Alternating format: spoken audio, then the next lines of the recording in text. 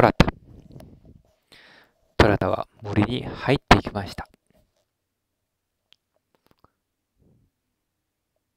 怖いなぁ。はあ、なんだろ、すごく怪しい感じがするよ。ふと足元を見ると、黄色いリュックサックが落ちていました。なんだかこのリュックサック、見覚えがあるぞ。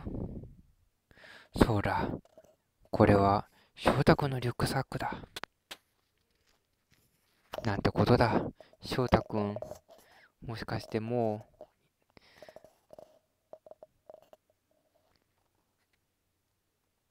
でも、僕は諦めないぞ。決意を新たにする虎田なのでした。